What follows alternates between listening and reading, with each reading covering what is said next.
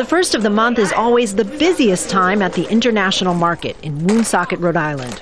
That's when shoppers who rely on the federal government's Supplemental Nutrition Assistance Program to buy food get their monthly allotment. Owner Miguel Pichardo depends on their business.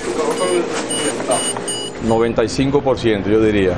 Yes, I'd say about 95% of the people use food stamps.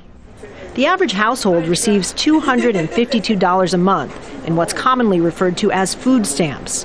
Recipient Yasmin Machuca says that even with the assistance, the last week of the month is a struggle. Ha sido difícil porque la comida no da para el mes. It's been hard because the food isn't enough for the month. We have bills and we're a family of four living off one person's part time work.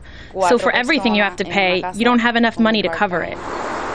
It's a common story all around Woonsocket, a former mill town hit hard by the recession in 2008. One in three residents here is on food stamps. The number of people in Rhode Island who rely on the federal government for assistance buying food has more than doubled in the last five years. The state has one of the highest unemployment rates in the country. And while there are signs that the local economy is improving, the jobs people are getting just don't pay enough, reflecting a national trend. Machuca works part time at the local dollar store.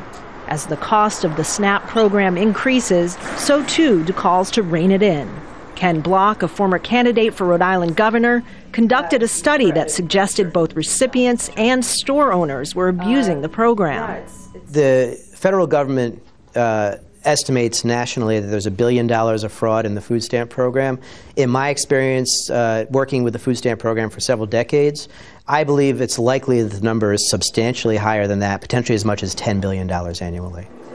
Rhode Island officials insist the majority of recipients are deserving and say cutting the program now would be devastating. There's $300 million coming into the state annually for food assistance. So, as you can imagine, that's an economic lift not just for families, but for retailers and wholesalers and so forth. With no new industry to fill the old mills and empty storefronts, federal assistance remains a lifeline for the entire community. Kristen Saloomey, Al Jazeera, Woonsocket, Rhode Island.